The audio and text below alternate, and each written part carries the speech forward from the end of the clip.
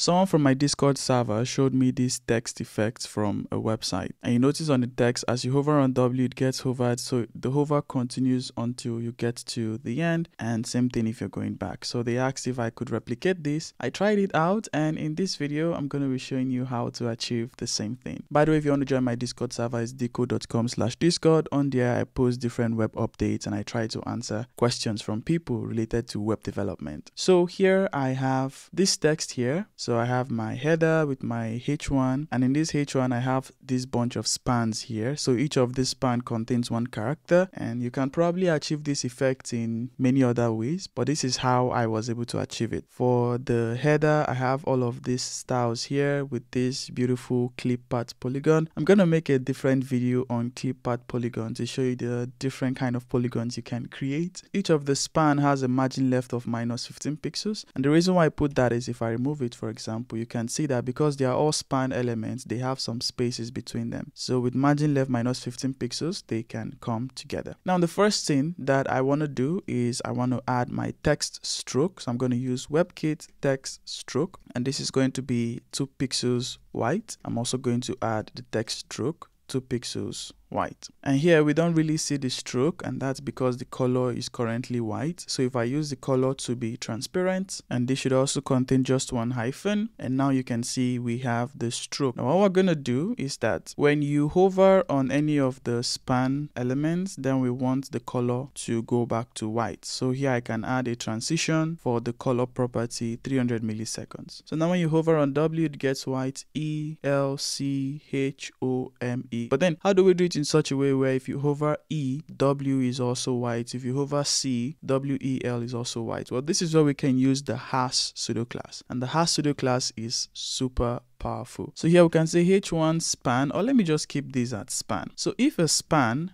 has a sibling span in the hover state, then we want this span to have a color of white. Sorry, I'm still going to explain this, but let's see how it works. Now, if I hover on W, we have this. If you hover on E, you see W is still white. Same thing as you go to the end, and if you come back, then all the color whites are removed. So let me explain this again. Now, this span can mean this or this or or this or this or this. If a span has a sibling span, this is the sibling combinator. I have a video on CSS combinators. I'll link it in the video description. But this is a sibling span, which is going to select a span that is a sibling of another span. And siblings here are elements that comes after one another. So in the case of this span, this second span is a sibling of the first span. This fifth span is also a sibling of the first span. This fifth span is also a sibling of the second second span. So we're saying that if a span has a sibling span that is currently in the hover state, so if you're currently hovering on this span, that means we're going to select this span and this span because this span is a sibling of this both span. So that's what it's saying here. If a span has a sibling span that is in the hover state, then we want to add this color white to this span. And that way, if you hover on C, since C is a sibling of W, W will be white. It's also a sibling of E, it will also be white. Sibling of L, it will also be Y. Just to quickly check what the browser support is, for the pseudo class, we have a browser support of 89%. And for text stroke also has like a 97% um, browser support, but you have to use the WebKit version. I hope this video taught you something about CSS and you enjoyed this demo with me. Please give this video a like, share with others, and follow me for more CSS demos like this.